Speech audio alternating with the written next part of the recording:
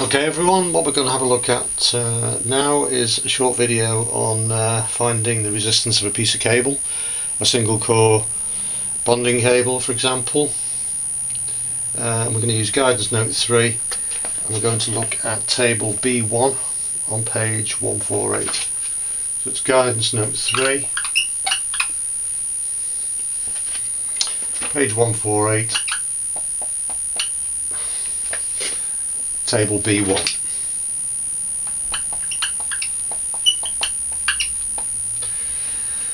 Let's say it is a piece of cable, single core, bonding cable for example, might be between the gas pipe and the uh, uh, MET. Let's say it's 26 meters long and it's 10 millimeters squared.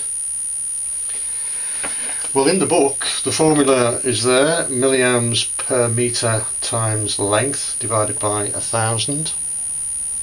Now if you look down to 10 mil single core cable it actually says the line conductor there but it doesn't really matter for this calculation it's 1.83 for a single core 10 mil cable so we just make a note of that 1.83 is from the table.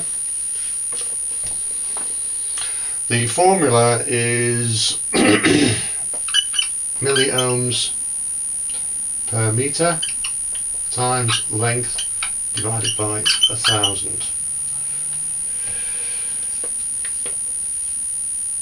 You might find it easier to use the formula B1 times length divided by a thousand so that you know it's from table B1.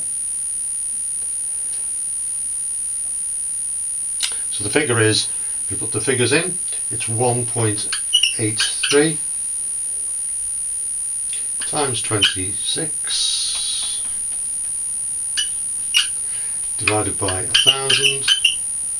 You do that on your calculator, that comes out to 0.047 So if you were to measure a piece of cable about that length, you would get that result. Okay, thank you very much.